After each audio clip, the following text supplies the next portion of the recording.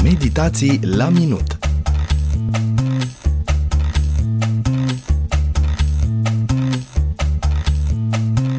În general, în anotimpul rece, pielea este mai agresionată din soare, vânt, variații de temperatură și se deshidratează mult mai ușor. Este foarte important să-i acordăm întregului corp și în special pielii o atenție deosebită. Și mă refer nu numai la îngrijirea externă a pielii, și aici trebuie să fim atente la ce creme folosim, în special noi femeile și copiii noștri, pentru că cremele care conțin aditivi chimici, derivate petroliere, acționează ca și perturbatori hormonali.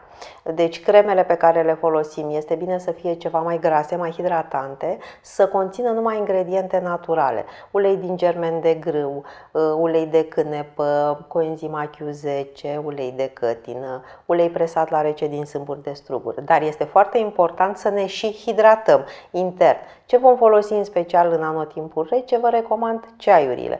Ceaiurile care ne hidratează, ne detoxifică și în același timp sunt o sursă naturală de vitamine, minerale, antioxidanți.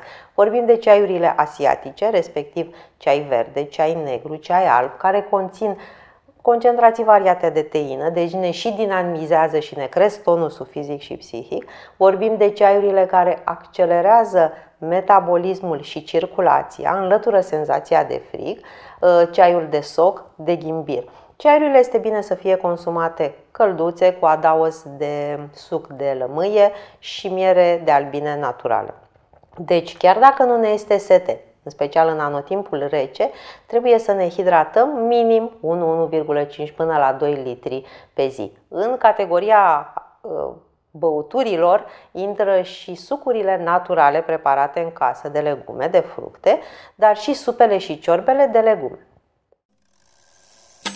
Pe data viitoare, la Meditații la minut.